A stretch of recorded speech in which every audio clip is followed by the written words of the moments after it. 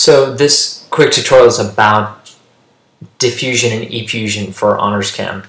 Uh, this PowerPoint is going to be available online, so I'm not going to spend time going through every line of the PowerPoint. So diffusion, as we talked about before, the random mixing of gases from high concentration to low concentration, very similar to perfume or air sanitizer. Uh, effusion, though, and I want you to remember, it's through a tiny hole. That's the difference between diffusion and effusion. Uh, and both of them depend upon molar mass. You can see here the diffusion where it's high concentration of one type of gas molecule. Uh, and there's nothing on the other side, so that's why it diffuses across. And whereas effusion, again, it's going through the small pinhole. The strict definition has it going into a vacuum. We're just going to say effusing going from a high concentration to low concentration through the small hole. Uh, and the example is think of a nail in, the, in your car tire. So we use Graham's law to calculate the rate of effusion. We can rate of effusion or diffusion. And the rate of one gas over another is inversely proportional to the square root of their molar masses. Okay, inversely proportional means that you have to flip them over. Obviously, so the rate of A on top of one side, then the square root of the molar mass of A has to be on the bottom of the other. So uh, we can do some calculations. Um, not only can we do rate, we can also do distance. So the distance traveled by one gas over the distance traveled by another is equal to the to the in uh, the is inversely proportional to the square root of their molar masses again. All right. So if we're looking at something like helium and nitrogen, we calculated that the, the rate of helium would be on top and the nitrogen, the rate of the nitrogen would be on bottom, whereas you'd flip them over and the molar mass, the square root of the molar mass of the nitrogen would be on top and the square root of the helium would be on bottom.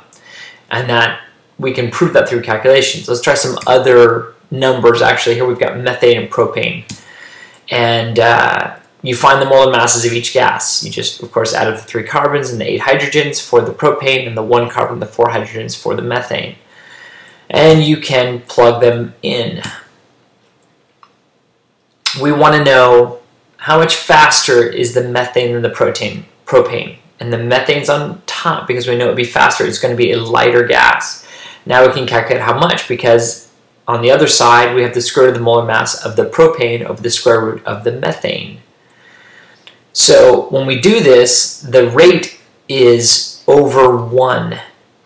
Okay, that means it's 1.65 times faster. Or you could say that the C3H8 is 1.65 times slower.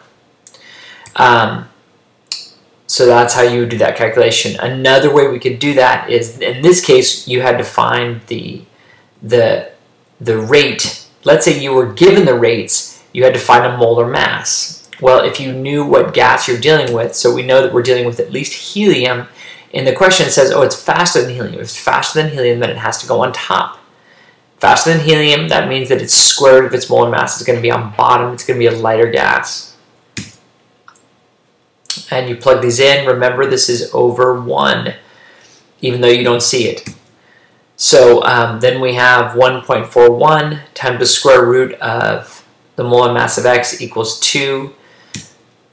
Square root of x equals 2 over 1.41. You can, of course, then square it, and you end up with 2.01 grams per mole, which leaves us with hydrogen H2 gas. Okay, so if you're asked to find the identity of that. Big points to remember that all gases at the same temperature have the same average kinetic energy. Even though they have the same average kinetic energy, that's ma that's uh, mass times velocity, they could have um, different velocities because they could have different masses. There we go.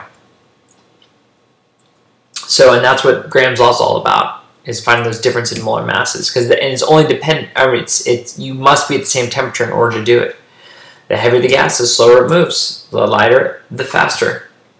All right, that's all. Please let us know if you have any questions.